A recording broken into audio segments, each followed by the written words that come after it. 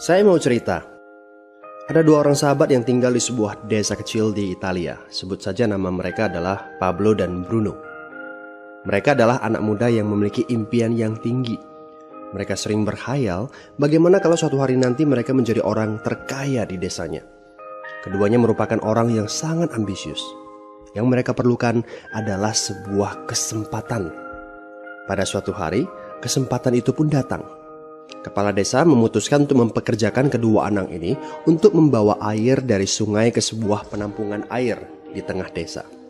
Keduanya masing-masing membawa dua buah ember dan segera menuju ke sungai. Menjelang sore, keduanya telah mengisi penampungan air sampai penuh. Kepala desa menggaji mereka masing-masing berdasarkan jumlah ember air yang mereka bawa. Wow, Pablo dan Bruno senang sekali.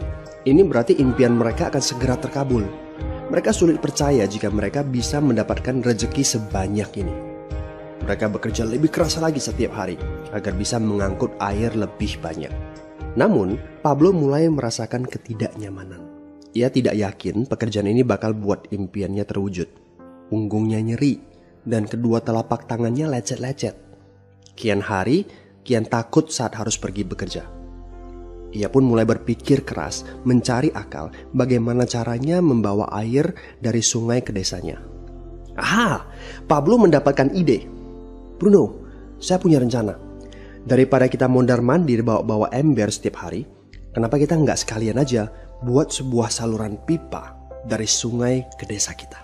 Saluran pipa? Ide dari mana itu? Seru Bruno. Kita udah punya kerjaan yang bagus Pablo. Saya bisa bawa 100 ember sehari. Saya akan jadi orang kaya. Di akhir minggu, saya bisa beli pakaian baru. Pada akhir bulan, saya bisa beli seekor sapi. Dan pada akhir tahun, saya bisa bangun sebuah gubuk baru.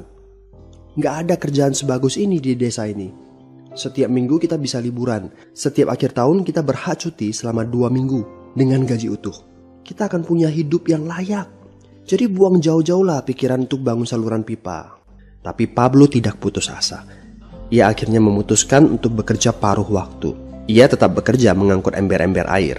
Separuh waktunya, serta di akhir pekan, dia luangkan waktu untuk bangun saluran pipanya. Hal itu tidak mudah. Penghasilannya otomatis menurun dan dibutuhkan waktu 1 hingga 2 tahun sebelum saluran pipanya bisa menghasilkan sesuatu yang berarti. Bruno dan orang-orang desa mulai mengejek Pablo. Dia menyebutnya Pablo si manusia saluran pipa. Bruno yang berpenghasilan hampir dua kali lipat dari Pablo terus memamerkan barang-barang baru yang berhasil ia beli. Sapi, keledai, pakaian, sepatu baru, gubuk bertingkat dua. Bruno bisa makan mewah di kedai. Orang-orang di desa menyebutnya Tuan Bruno. Sementara Bruno berbaring santai di sore hari pada akhir pekan, Pablo terus saja menggali saluran pipanya. Pada bulan-bulan pertama, Pablo memang tidak bisa menunjukkan hasil dari usahanya. Pekerjaannya memang sangat berat, bahkan lebih berat daripada kerjaan Bruno. Karena Pablo juga harus bekerja pada malam hari. Demikian pula di akhir minggu. Tapi Pablo selalu mengingatkan pada diri sendiri bahwa impiannya dibangun berdasarkan pada perjuangan yang dilakukan hari ini.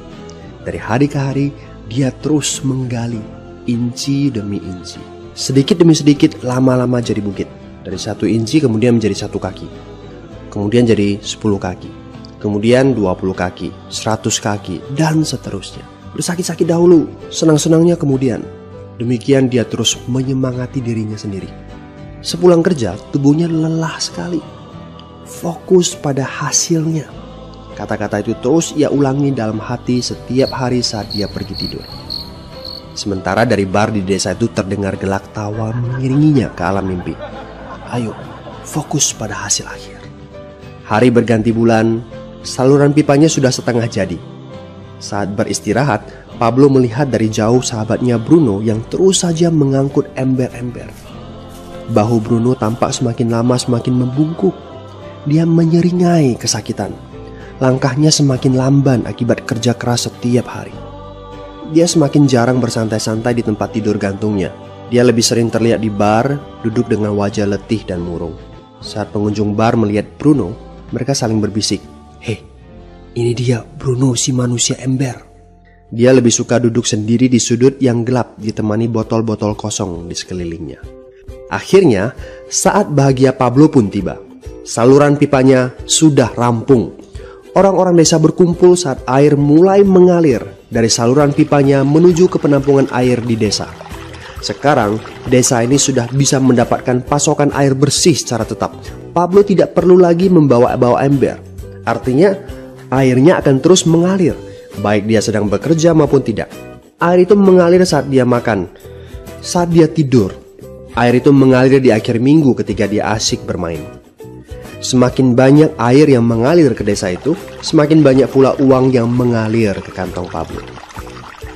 Apa moral dari cerita ini? Pertanyaan yang paling penting untuk kita renungkan adalah siapakah Anda?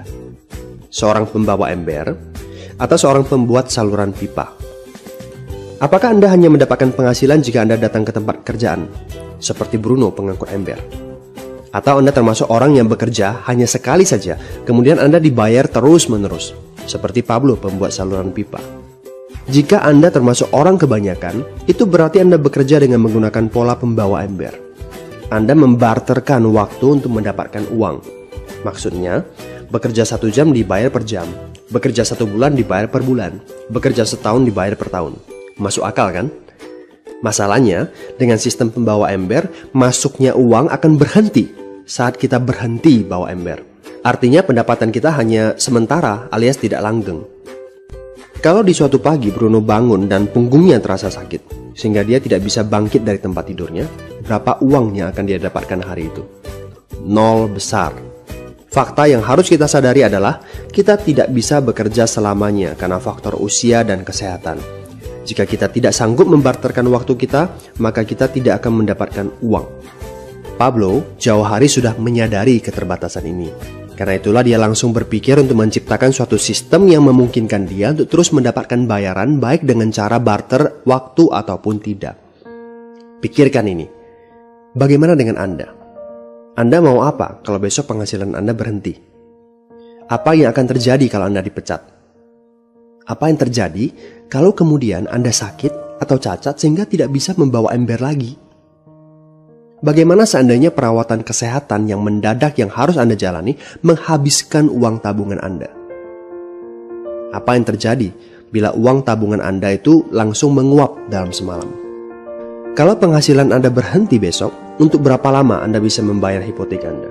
Cicilan rumah, mobil Anda, ataupun untuk biaya sekolah anak-anak Anda? Satu tahun, enam bulan, tiga bulan, atau tiga minggu?